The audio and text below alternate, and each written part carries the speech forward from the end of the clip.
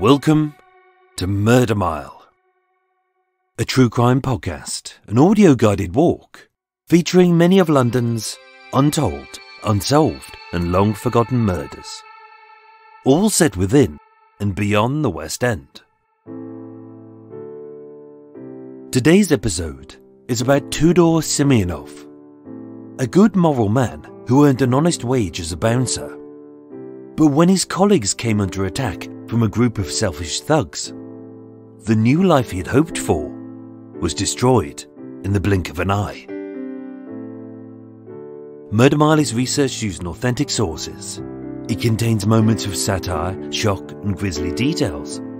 And as a dramatization of the real events, it may also feature loud and realistic sounds.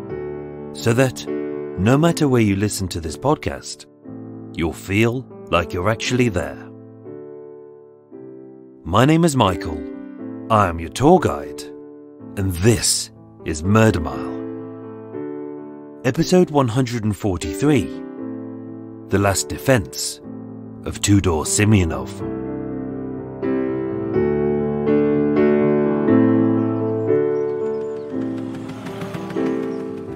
Today, I'm standing in Park Lane, W1 two streets west of the massacre of Flight LL016, two streets southeast of the royal delusion of Godratola Barani, and a few hundred yards east of the unforgivable death of Gladys Wilson. Coming soon to Murder Mile. Sandwiched between Hyde Park and Mayfair, Park Lane is supposedly one of London's most desirable areas where only the super wealthy can afford to live. With millionaires' pads given an unrestricted view over the city, they are surrounded by luxury car showrooms like Aston Martin, Brabus, and BMW, and five star hotels like Hilton, Grosvenor House, and the Dorchester. But it's not the kind of place where you go, ooh, look, stylish, or, oh, look, fashionable. As the wealthy tend to have more money than taste. Park Lane is little more than a six lane carriageway, chock full of the choking fumes of trucks. It's grim, it's dirty, and it's foul.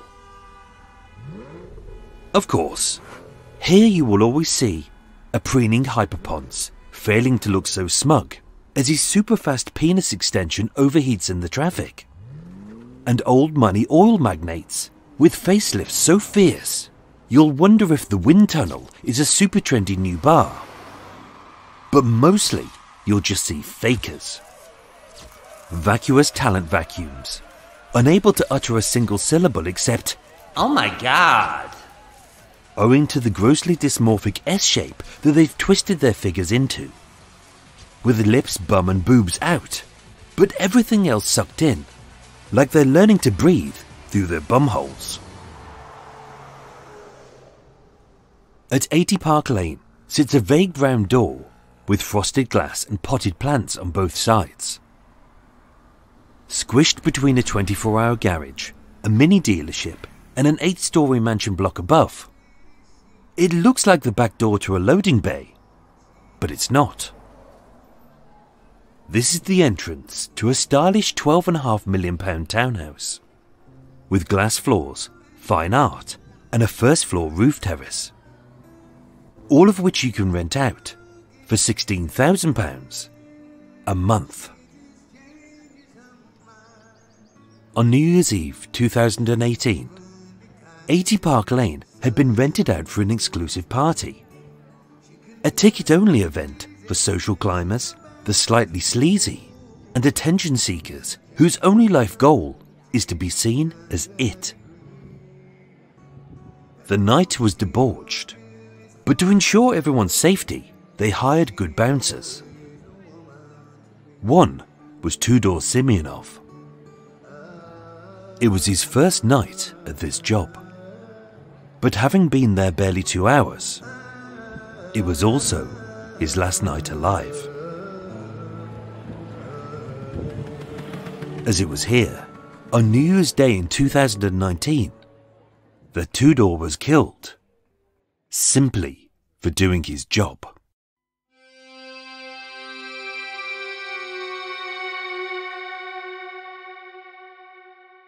Why do bad things always happen to good people? Tudor Simionov was someone who deserved a chance to live his dream of a good life in a new land with the woman he loved. But sadly, it was not to be. When a person dies so tragically, it's easy to dismiss the grieving words of their loved ones as generic platitudes which could be about anyone. He was a good man. He had a big heart. He had a bright future ahead. Everybody loved him. He died too young. But in Tudor's case, it was all true. Born and raised in the Romanian capital of Bucharest, the mid to late 80s was a turbulent time as Romania staggered from Soviet occupation to the collapse of communism, from the oppressive austerity under dictator Nicolae Ceausescu, to revolution, to his execution, and to a country rebuilt. Times were hard, but there is no great mystery as to why good people raise good children. It's how they're brought up, as even against such tragedy and sacrifice, against all odds, good people will emerge. Blessed with loving parents, he was instilled from an early age with Christian values decency, strength, kindness, and his overriding value that he would always put the needs of others before himself. Being tall and clean cut, he was handsome but never vain, as he always prided himself in his neatness. Being well built, as a big guy who could handle himself. To some, he may have appeared a little fearsome, but his physique belied his true self. As a competitive rower, Tudor was a successful part of a sculling crew who hoped, one day, to row for his country at the Olympics.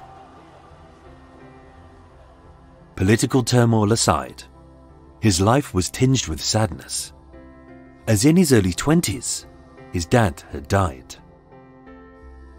He could have gone off the rails, he could have turned to drink or drugs, and he could have given up on his dreams. But he didn't.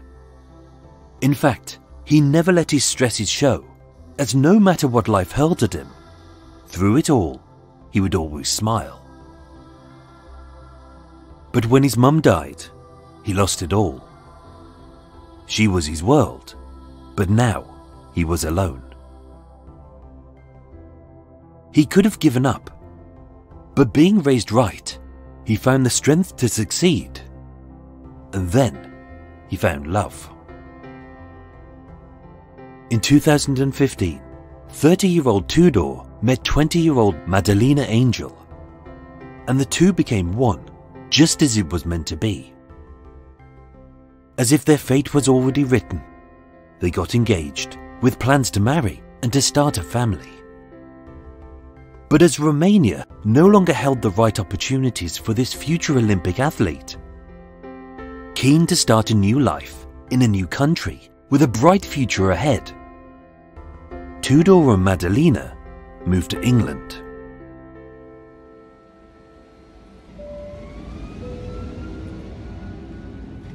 In October 2018, they caught a flight from Bucharest to Heathrow. The transition would be relatively easy as their friends already lived in London. They would rent a small flat. Madalina would do her master's degree, and working as a part-time bouncer by night, Tudor could focus on his rowing training by day.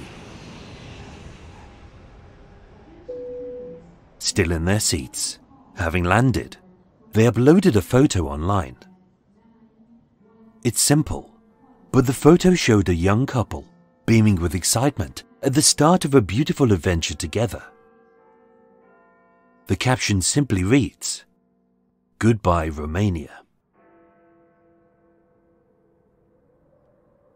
Tudor and Madalina had their whole lives ahead of them. But it would only last 10 weeks.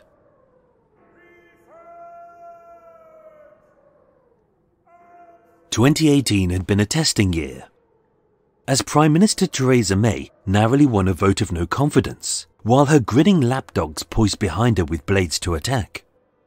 The Brexit withdrawal agreement was clinging on like an unflushable turd.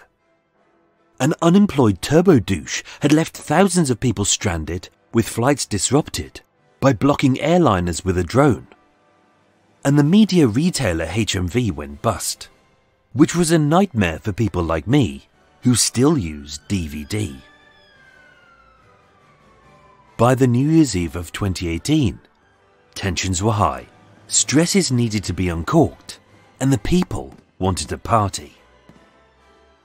Every Londoner has their own way of booting out the old year and ringing in the new. Some stay at home, some go to bed, some go clubbing, and others shiver on a bitterly cold bridge, going ooh and ah as chemicals explode. But that year, a very exclusive party was being hosted by Fast Eddie. Lord Fast Eddie Davenport was born Edward Ormus Charrington Davenport in a very affluent part of Kensington in 1966.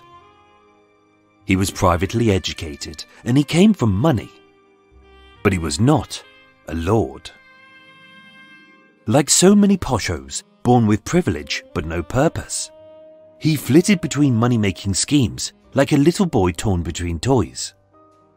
Therefore, several sources list his occupation as property developer, socialite, and convicted fraudster.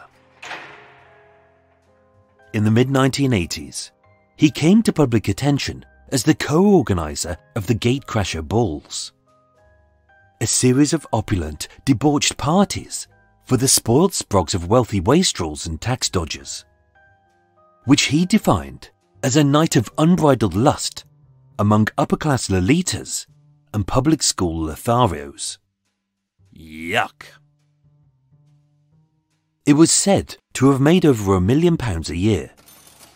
But being convicted of tax evasion and fraud in 1990, 2005 and 2008, he was imprisoned for seven years and eight months, only to be released after three.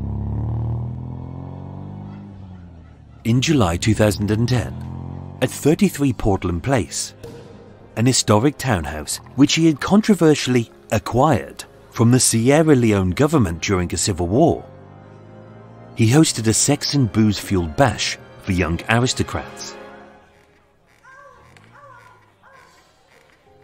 In typical Fast Eddie fashion, although every guest was treated to free flowing champagne, trays of cocaine, and a small pool filled with a thousand litres of cognac, the party was unlicensed.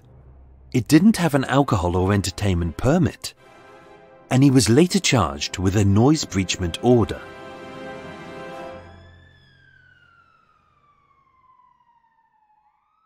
Lord Fast Eddie Davenport would never learn his lessons.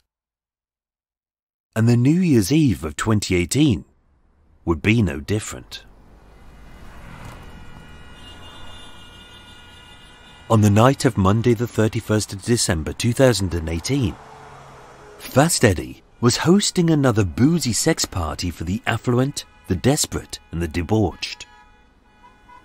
Advertised in only very select groups, with tables priced at £2,000 a pop.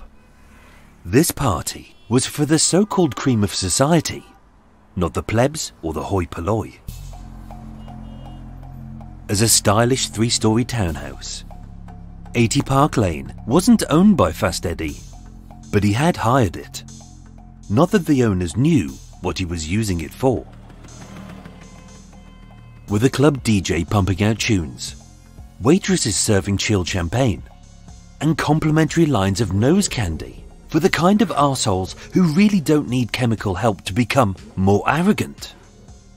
As outside, BMWs, Porsches, and even a Lamborghini were parked. Advertised as the ultimate New Year's Eve after party, it opened at 2am and it closed at 6am.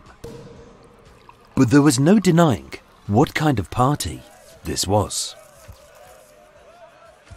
Witnesses described it as wild, crazy. One even said, whatever you wanted, it was available. As with flanks of scantily clad ladies, dressed in lingerie, corsets, high heels, and lots of flesh on show, ushered in through the vague brown door, it was unashamedly a sex themed party, and very possibly an orgy. And although it looked like a well organized do, being ran by Fast Eddie, small details were overlooked. Like informing the owners, adhering to noise abatement rules, applying for an alcohol and entertainment permit. And as this was an unlicensed event, the bouncers weren't provided with stab-proof vests.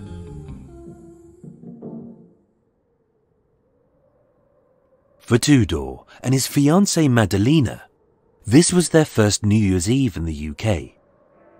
So it was significant, as it marked not only a break with the sadness of his past, but the start of a bright future ahead. That evening, they kissed, they hugged, and they made resolutions as fireworks exploded across the city. At around 2 a.m., dressed in a crisp white shirt, a neat black suit, and an ID around his neck, Tudor left home. He wasn't meant to work that night, but to help a friend out, he was covering his shift. At 3:41 a.m., CCTV caught Tudor crossing the Esso garage and entering 80 Park Lane. His shift would be easy, as with the party half finished, few new guests would actually turn up. And besides, his job was to monitor the party guests and not the door.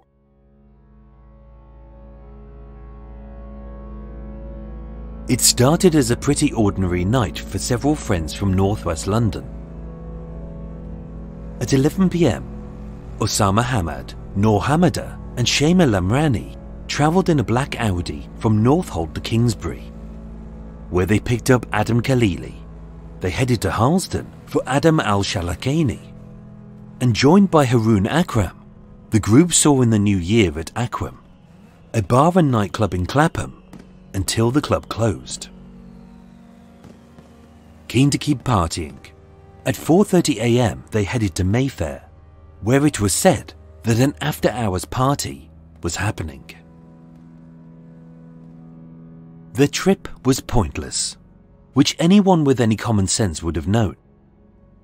As they didn't have tickets, they hadn't enough money, they weren't pals with Fast Eddie, and as a seedy sex party for affluent socialites, this ragtag group of youths wearing jeans, t-shirts and trainers didn't fit the bill.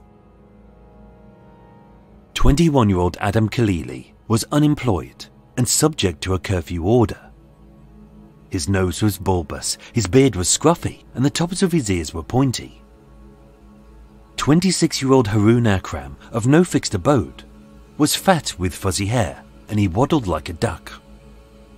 24-year-old Noor Hamada, a barber from Wembley, had a wonky eye and although they all acted like they were badass, in truth, they were little more than immature and pathetic.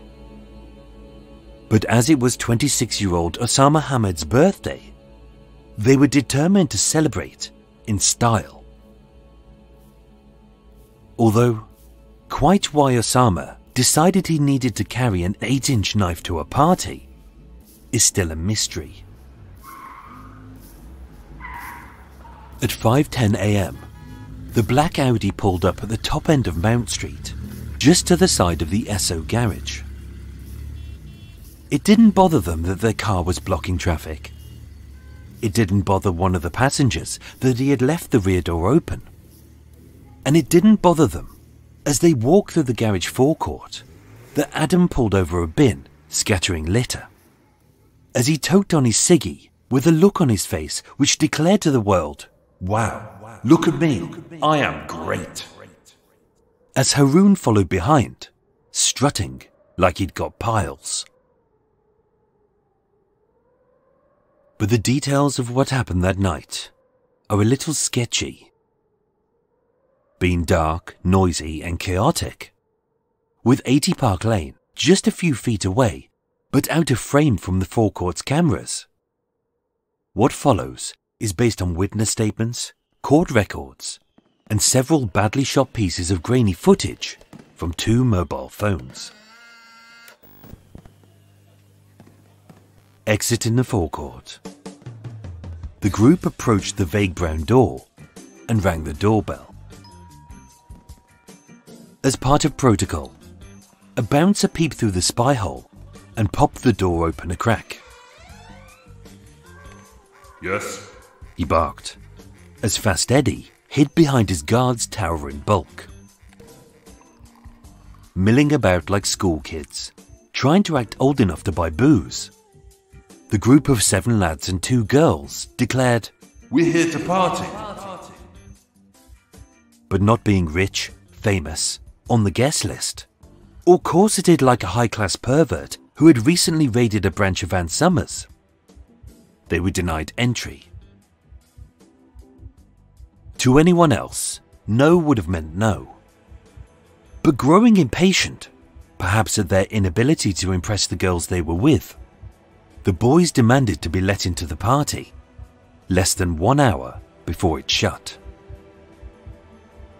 Again, the answer was no, as the bouncer ushered them out. But before the door was firmly shut, one of the gang dashed in, knocked over a vase, and fled. It may seem pretty petty that a grown man would act so petulantly. But with the door now wide open, the group stormed in and security lost control. In the small stylish hallway, fists flew, glass smashed, and another vase was hurled as this gang of selfish mindless yobs began fighting with security. As if, having broken in and caused havoc, they would instantly be invited to stay. But then again, some people are incapable of thinking about anyone else but themselves. And as this melee erupted, it is alleged that Fast Eddie dashed out of the back door. It was then that a knife was pulled and a waitress was slashed. Trained to protect, but with no stab vests nor weapons to defend themselves, just their hands. The bouncers forced these men out of the hallway and onto the pavement. And yet still, this pathetic little gang of angry little turds fought on, kicking and punching, unable to back down like anyone with half a brain.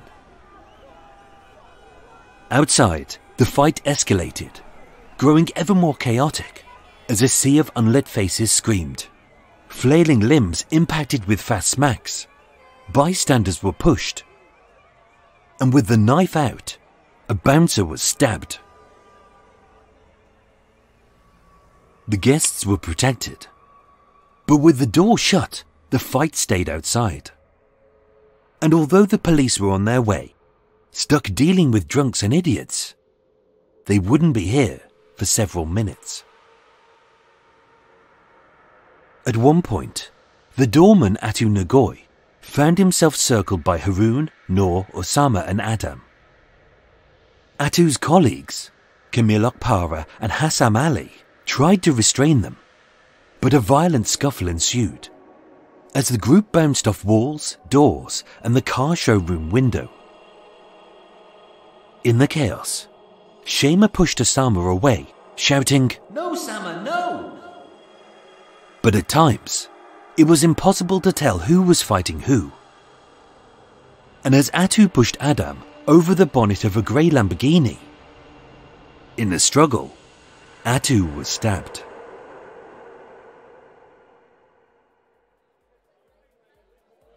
Inside the party, someone ran in, screaming, There's a fight upstairs! Someone's been stabbed! Some of the lingerie clad patrons panicked. Some hid and some fled. But most didn't care, as it didn't concern them. But for Tudor, this wasn't just a job. This was his purpose.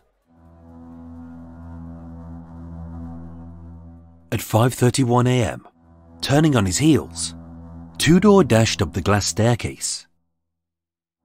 In the small hallway, he spotted everything he needed to know about what had just occurred.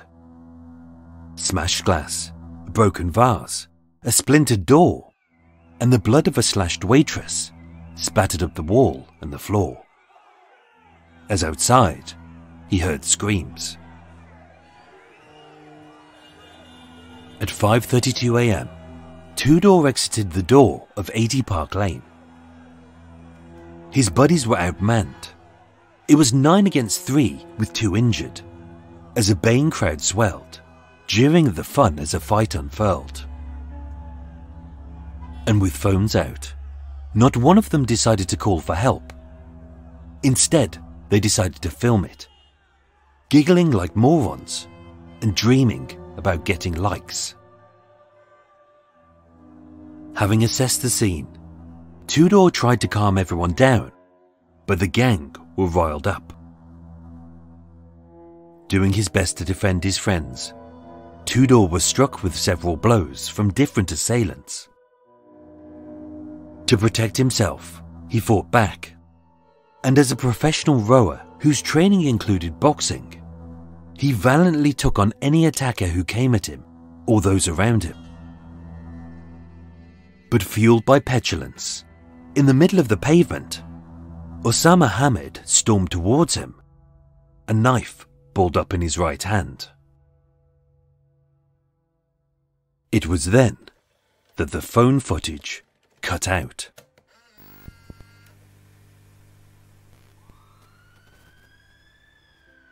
Police and paramedics arrived a few minutes later. At the scene, five members of staff, Atu Nagoy, Kamil Okpara, Hassam Ali, Mark McKinley, and Yankee the waitress, were all treated for knife wounds, and all would go on to make a good recovery. Tudor had been outside for barely 30 seconds. But having been stabbed in the chest, with the knife having pierced his heart, he staggered back into 80 Park Lane, and in a red lit bathroom, he collapsed. Leroy Rose, the club's promoter, administered first aid there and then, as blood pumped through Tudor's white shirt. He later said, I saw him bleeding. His suit was covered. Blood was coming out of his chest. I grabbed a towel and helped the wound. He never said a word to me. I think he was in shock. But as he got paler and quieter, he only survived for about a minute. He lay there, his eyes open, staring up at me.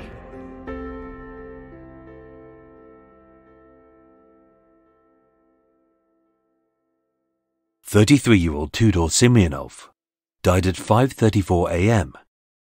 and he was pronounced dead at 6.05 a.m.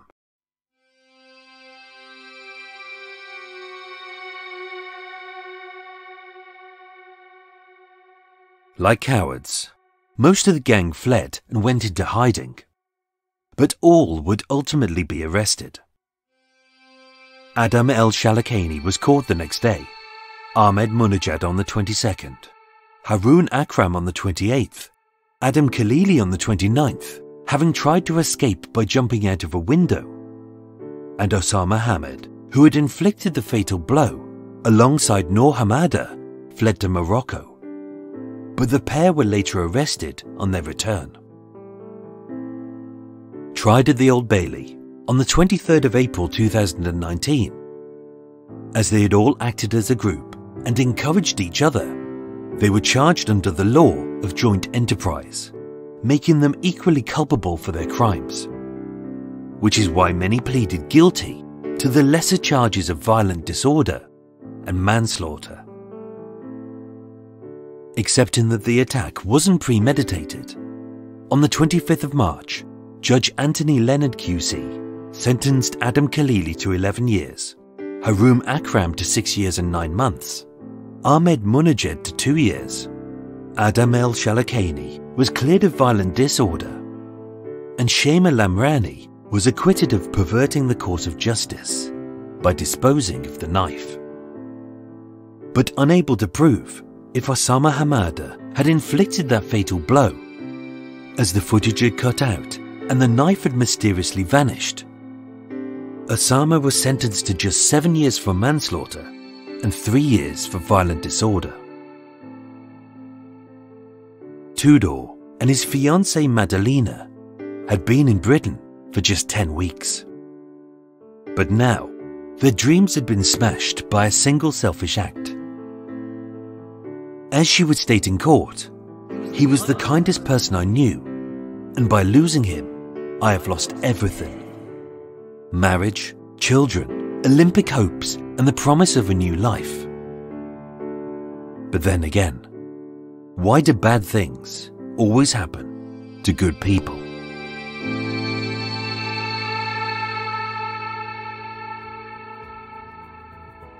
Ladies and gentlemen, thank you so much for listening to Murder Mile. As always, a non compulsory waffle session with added nonsense, as well as a quiz, some extra details about the case, and other such twaddle will follow after the break. A big thank you to my new Patreon supporters, who are Nick Hammerling, Vicky Ferrace, Anne Russell, Jade Daniels, Matt Kine, and Jennifer Collier. I thank you all. May the God of chocolate buttons rain down sweet treats upon you, and that not a single one of these chalky treats will contain a calorie. Yuck. Murder Mile was researched, written, and performed by myself, with the main musical themes written and performed by Erik Stein and Jon Boux of Cult with No Name. Thank you for listening, and sleep well.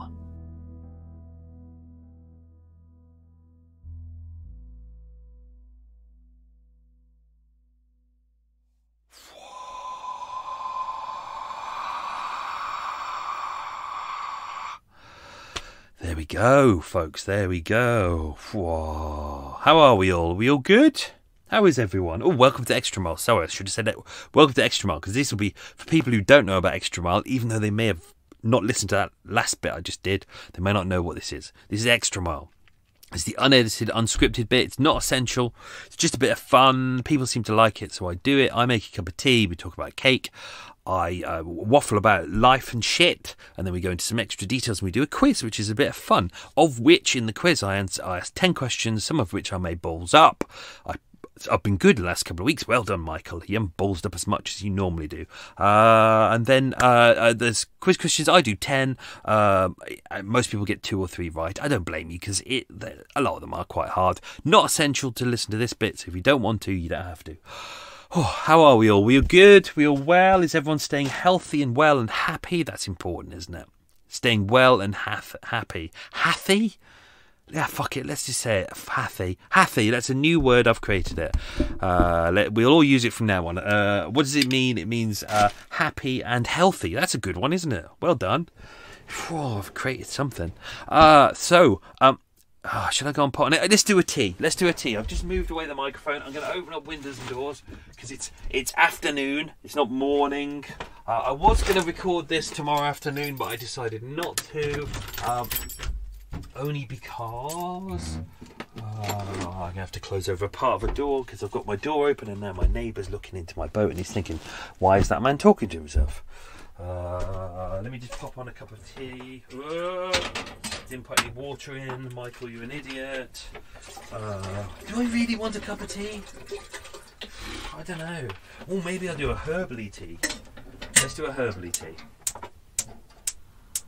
Oops. Yeah, that's on. Good. Hang on. Herbally tea. Going to be a peppermint. A peppermint. Right. Yeah. Coming back. As you've noticed over the last couple of weeks, I've been bumping up the volume on this bit, so hopefully this you can hear this a little bit more.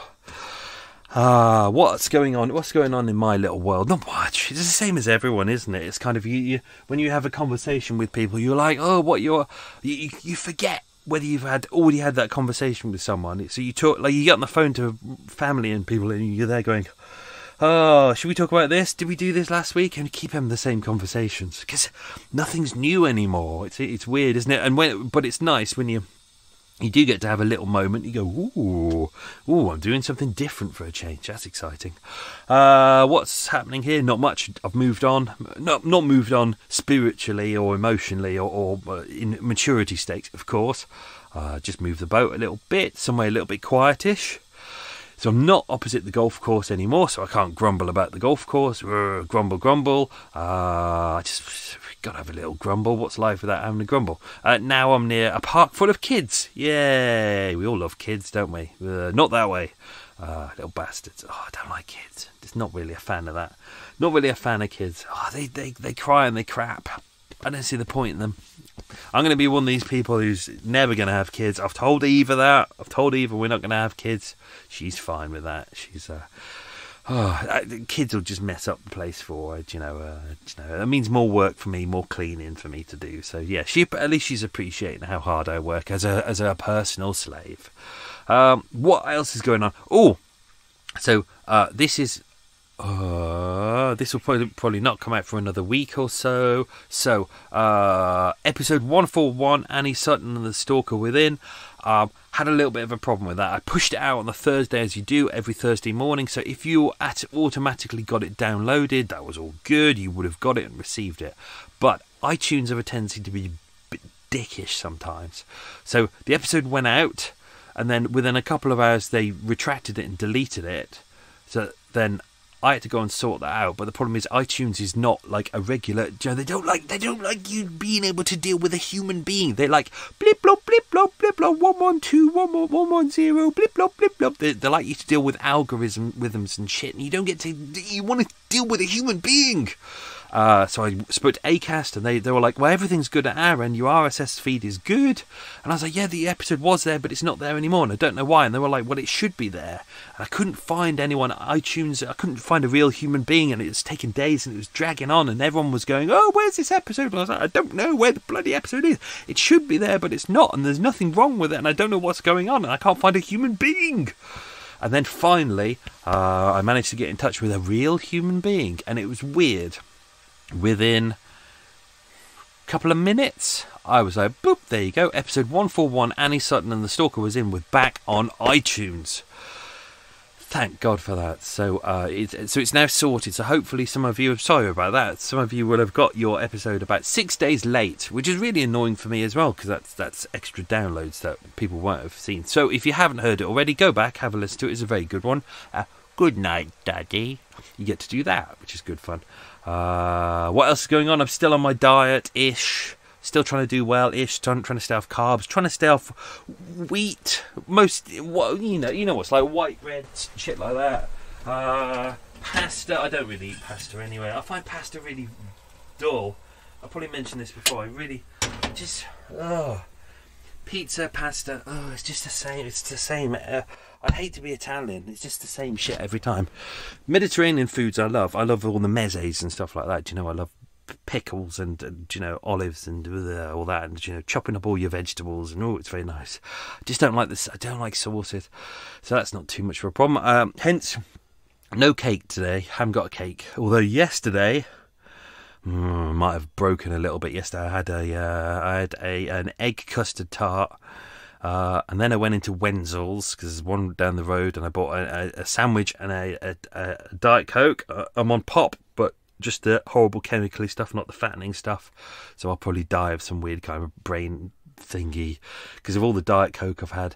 Uh, and then with that, I was like, oh, what treat do you get with the sandwich? Because it was a meal deal, and they. Uh, I said, uh, "Can I get a Belgian bun?" And then, what's the deal with this? And they went, "Oh no, you can get the Belgian bun with it."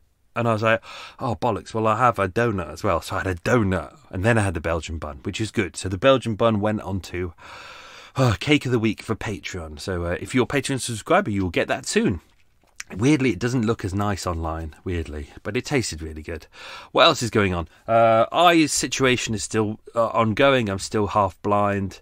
Uh, but I'm getting used to it now. I think, as my specialist said, it, was like your eyes are going to have to readjust and they're going to refine their shape because these are brand new lenses.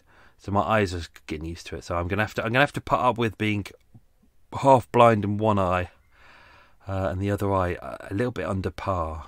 But I don't seem to be getting headaches, which is a good thing. So uh, let's do some questions uh, for the quiz. Uh, of course, questions for a quiz. What else would you do in a quiz, you idiot, Michael? Uh, so I hope you're all ready. Uh, don't forget, I will mess some of these up, as I always do. Uh, actually, I've been not too bad the last couple of weeks. I've been all right. So let's give them a go. Question number one, ladies and gentlemen. what sport did Tudor do professionally? If you look at the, the details, you will see that his name is uh, in the UK we would say Tudor because uh, it's T U D O R. But I deliberately, I always double check everything before I put it out because I hate mispronouncing things. And his girlfriend or his fiance pronounces it Tudor, so I've pronounced it Tudor as opposed to Tudor, which is uh, what many people have done. Uh, big mistake. Uh, that's not the question. Michael, go back. Question number one What sport did Tudor do professionally? That was the question. question number two What was the name of Fast Eddie's first project? What was the big one that was mentioned at the start? You can either go for the name or you can just say what it is, whatever's good for you. Uh, question three Which Romanian city did Tudor and his fiancee fly from? I just said fiance. I wish I hadn't said that. Fiance. That's better. Which Romanian city did Tudor and his fiancee fly from? This is really weird having these lenses in because ever since I had the rat on the boat, which was on my boat for about half an hour until I got rid of it, uh, I've I've worries about seeing rats and mice everywhere. But because these new lenses are really weird, and I'm adjusting to the shape of them and the fact that you get reflections in different places. When I'm looking ahead, I get it, it looks like there's things running around the sides of my eyes. And I'm getting a lot of dark objects flitting around, which I'm going to get used to at some point. But at the moment, my brain still says that they're mice. It's not mice. I haven't got any mice. Uh, but you never know. Question four, that wasn't a question. Question four, what was in the pond at the party at 30 Portland Place? And for a bonus question, this isn't in the episode. Uh, I didn't know this, but I just found out. Uh, let's see if you know. Which famous uh, scene was filmed from a recent film at 30 Portland Place? You can have that one for free. That will give you five bonus points if you can work out what was filmed at 30 Portland Place. Uh, but the question was, what was in the pond at the party at 30? 33 Portland Place, sorry. Right. Uh, Michael, you're all over the shop. Five. How much does it cost to rent 80 Park Lane per month? Yep. Uh, that is that is basically uh, what Eva gives me as a salary for every five years, if that helps uh, you work it out. Question six: What time did the party start and fin? And what time was it meant to finish? So, what time did the party start, and what time was it meant to finish? Uh, question seven: What make of petrol station was next door to 80 Park Lane? Question eight: What was smashed inside the hallway by one of the group? Question nine: what was Fast Eddie holding when the attack happened? Probably the bouncer's hand, I'm guessing. Question 10. What type of car did Atu, the doorman, throw one of the gang over? Right, let's. Uh, so hopefully uh, I'll remember to do the answers to the questions unless I forget. Let's have a quick slurp of a peppermint tea, that's good. That really good for uh, peppermint tea, good for headaches. I'm starting to get one at the moment. Right, let's just do some details that didn't make it into the episode. As always, as you as you know, uh, sometimes there's things that you just can't get to in an episode, and sometimes it's not worth dragging it out and making the episode a little bit boring. So, so that's hence why extra mile comes in useful. Um, as mentioned in the episode, there was a little bit of trouble previously uh, to Tudor turning up and before the attack. So about 3 a.m., the manager of the petrol station next door, the brand of which I won't mention, uh, he he had actually called the police. Um, there had been a fight going on in the forecourt. A group of men and women in their 20s uh, who were dressed in Gucci and designer labels were fighting amongst themselves and threatening customers. Police were called. Uh, they also called the council, who sent down an official. Uh, and someone there got stabbed. Um, so, but this wasn't the group who would turn up later on. It just kind of shows that, you know, around that time there were a lot of riffraff kind of in the area and idiots carrying knives. People and knives. Just grow up. Learn to learn learn to communicate. You don't need a knife if you can communicate. Uh, I, so let's dive into some extra things we already kind of covered. The the fight itself is a little bit hard to explain. This took me weeks of going through all the different documentation because all the all the documents that are out there are quite vague because I don't think everyone really knows what was going on. So I spent months going through all the different descriptions and watching. I've got some uh, video that was released by the police. There were two different CCTV, uh, not CCTV, uh, video cameras from mobiles that were used at that point. So I've kind of tried to compare them and where people have been confirmed that this is them, I've used that information, but where it hasn't, I've deliberately kept it vague because I can't go saying that one person did this when clearly they didn't. Um, so after Tudor had been stabbed, he was just stabbed once in the chest. Uh, club promoter Leroy Rose, who was 25, uh, his, th- these are his words. I used part of it in here. He said, uh, I saw him coming back inside. He was in a suit and it was covered in blood. He didn't have a protective vest or anything important, as mentioned earlier on in the episode. I saw blood coming from his chest. I pulled him into the back and grabbed a towel and held uh, the wound. The the bathroom itself was there's several on the kind of that floor. They look very nice. They're ornate. They have different lighting, but at that point, uh, to, to make it kind of uh, erotic and uh, the, the lights were in red. So it, it, probably made his job a little bit harder. But uh, he said uh, he never said a word. He was in shock. He only survived for a minute. Uh, he'd been stabbed in the middle of the chest. Um, a police uh, body worn footage later showed uh, him being treated by uh, Adam El Shalakani. I had difficulty saying that during that, so I didn't put that in the episode. But Adam did was one of the people who was trying to help uh, Tudor at the point having been stabbed. Uh, but unfortunately, as mentioned, Tudor was um, uh, he died literally after a minute. The paramedics arrived. There was nothing they could do, um, and he was pronounced dead at 6:05. Post-mortem examination said the cause of death was a single stab wound to the chest.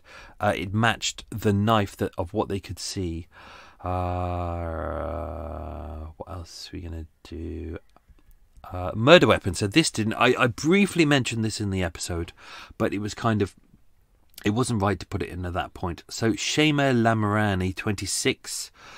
Uh, I think she was Adam's uh, Adam Adam El Shalakani's girlfriend at the time. So she was with the group. She was one of the girls who was with the group around the time. Uh, when it went to court, she denied perverting the course of justice after allegedly disposing of the murder weapon, i.e., the knife. Um, uh, jurors heard that uh, Lamrani can be seen moving over near to Aldford Street, which is uh, one street south behind the uh, the the the the um is this a question? Yeah, sod it. Uh, the mini uh, car showroom. I don't think it was a question I was going to put in. Uh, where there were several large bins. Um, it is said that she disposed of the knife in one of those bins. Now the problem was uh, those bins because it was uh, night time. Obviously, you got the bin men kind of out emptying all the bins by that point. point, and apparently those bins were emptied before a police cordon had been put in place in that area. Because obviously you got the police cordon around where the attack is happening, but no one's really thinking about the wider area at that point. Uh, uh, but she was found not guilty in court, i.e., there was not enough evidence. Um, when you actually look at the scene itself, it's like around the car park. I, I worked in a car park years ago. Car park, uh, a, a garage forecourt, and there was 15 cameras in there, like in the forecourt, but none outside. And actually, there was one camera which was out in the uh, the uh, the car wash out back, but it never worked. So all the druggies who were in the area knew that if they wanted to go anywhere to cause trouble, they could just go into the car wash. It didn't work anyway, and the cameras didn't work. So uh, also we had a shit boss as well, and uh, we realised that the bulk of the cameras were focused on us. And then I realised that the uh, that the manager, who was a complete twat, um, he uh, he compiled a little video of all the all the mistakes that we'd made. And then and then even worse, this was even worse. Someone so he he was sent uh, a, a, brochure on becoming a good manager, and in front of us, he looked at it, crumpled it up, threw it in the bin, and went, "Oh, I don't need that." We were like, "You twat."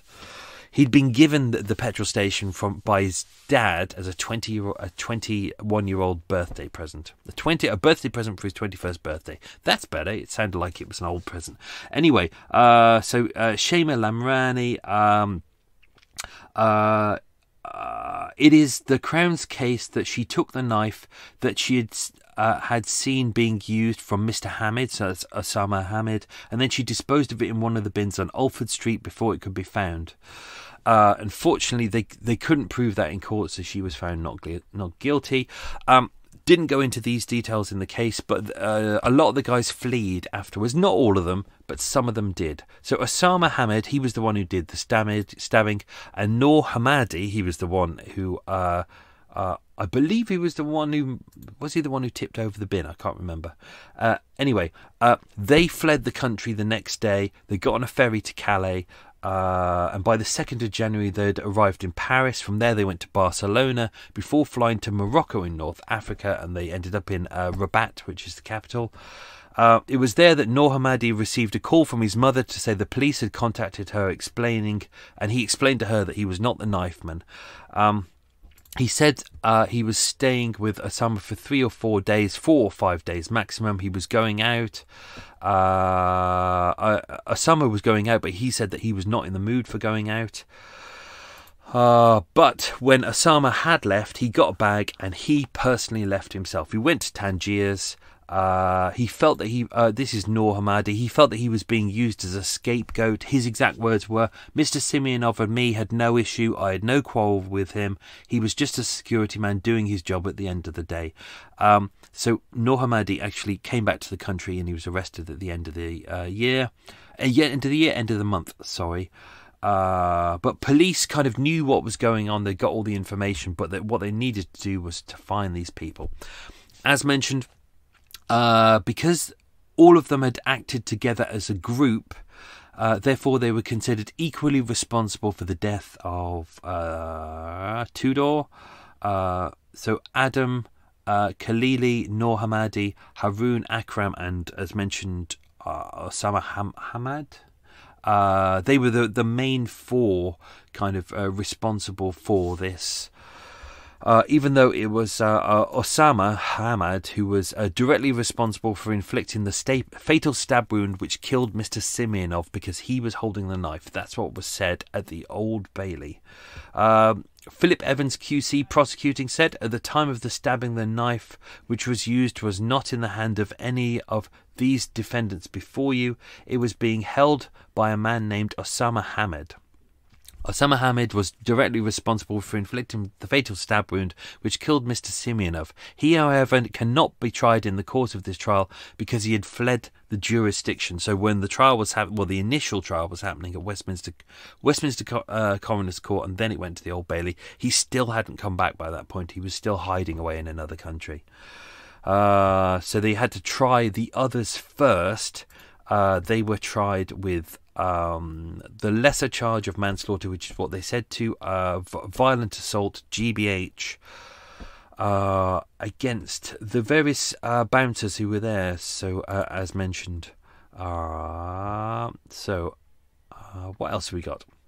So Noor Hamadi was arrested as he attempted to re-enter the UK on board a flight at Gatwick Airport on the 17th of February 2019. So he'd fled for about six to seven weeks.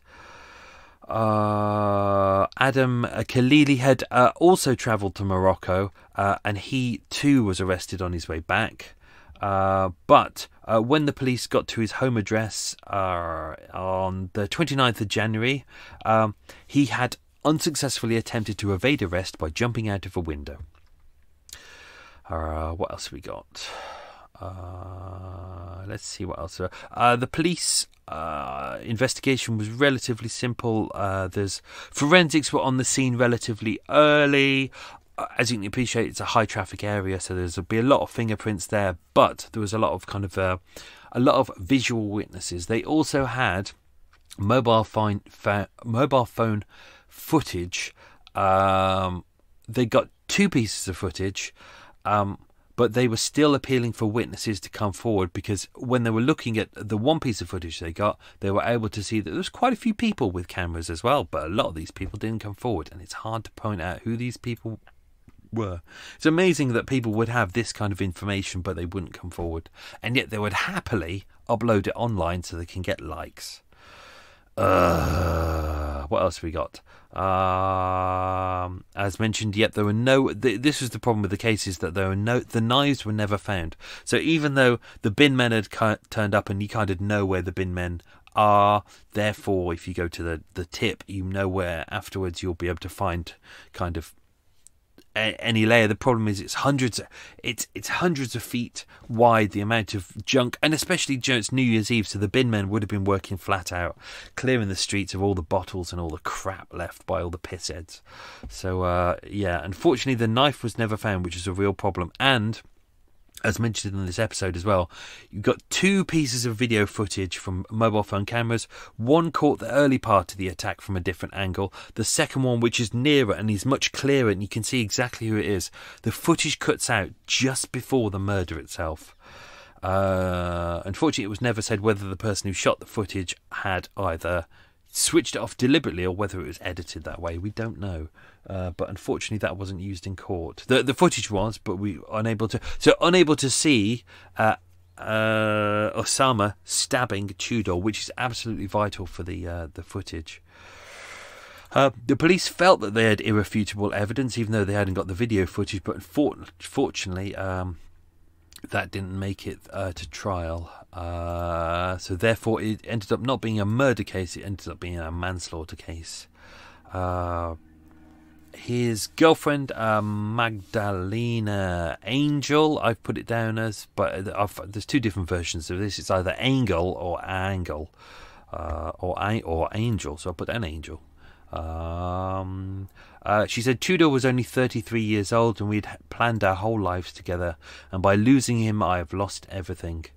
Um, she said she was pleased that the two men had been convicted, but we must now keep keep working to find Osama Hamed, who remains on the run from the police. This was after so the first trial happened, and then it was obviously a second trial when uh, Osama Hamed was caught.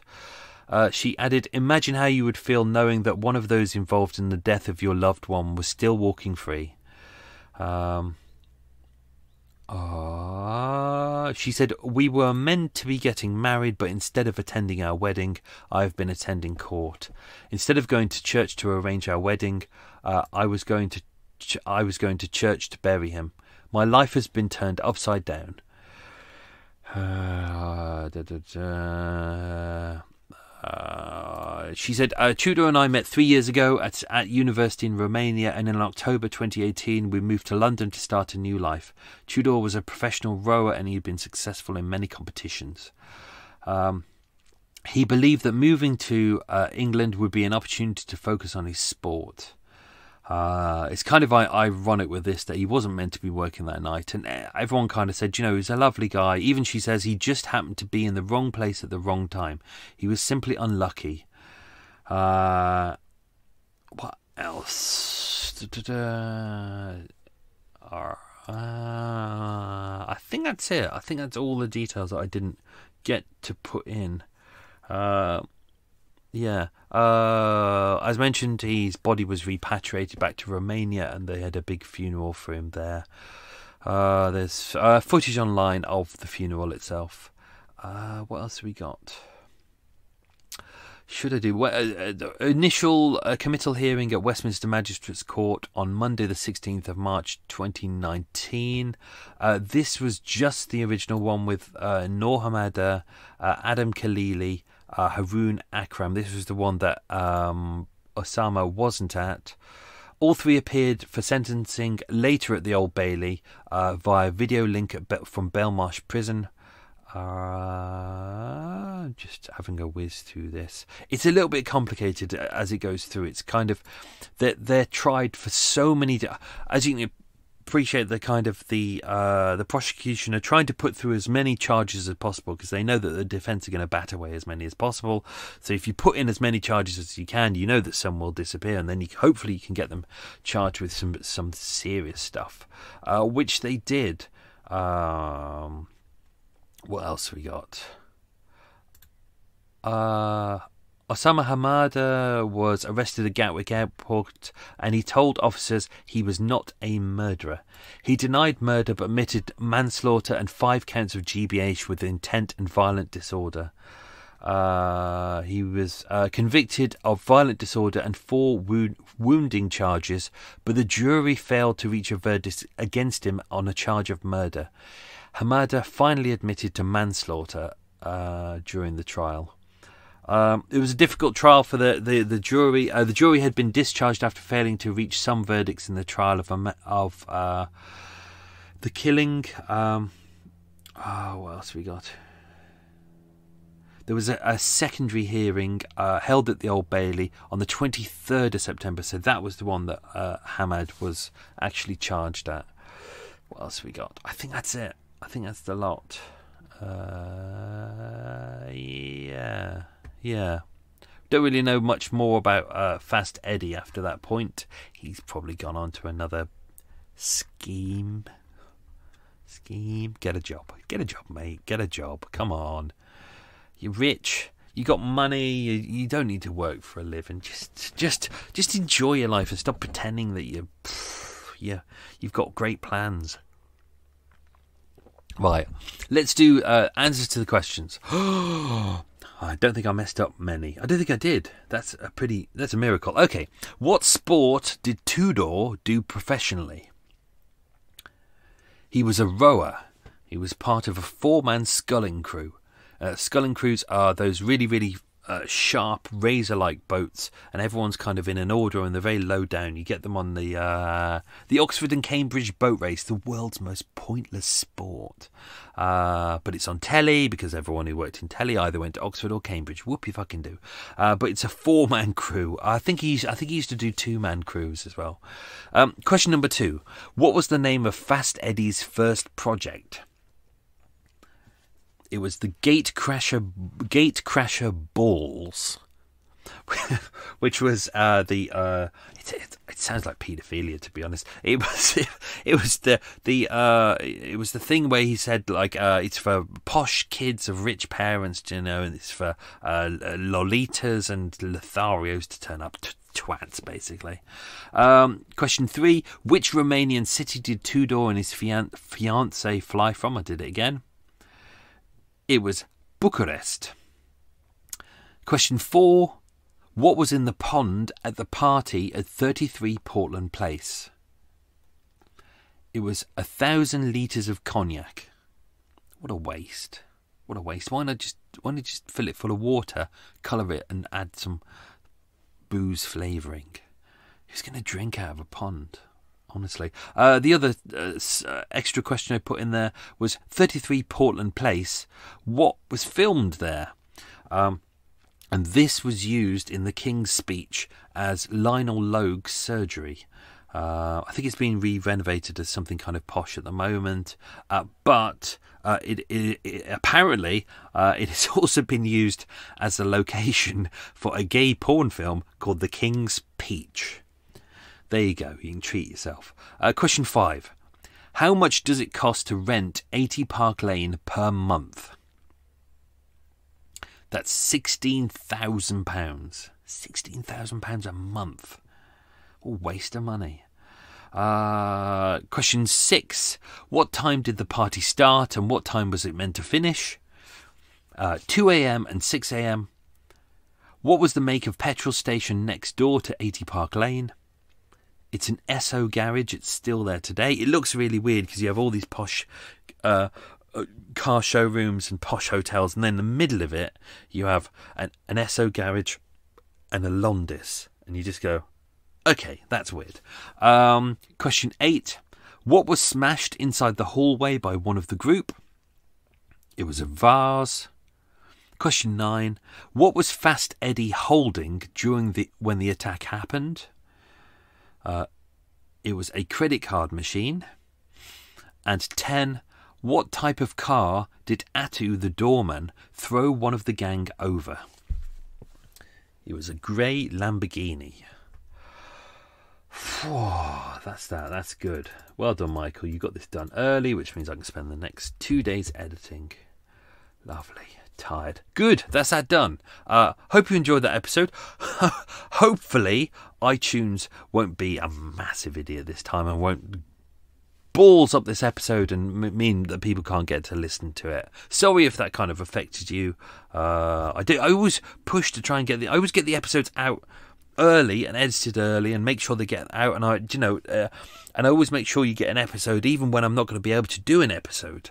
But it's so, which is why it's really annoying when iTunes come along and go, meh. Algorithm says no. Oh, bastards. Anyway, that's that. Hope you're all well. Hope you're all safe and happy. And I will speak to you all soon. Stay safe. Be good. Lots of love.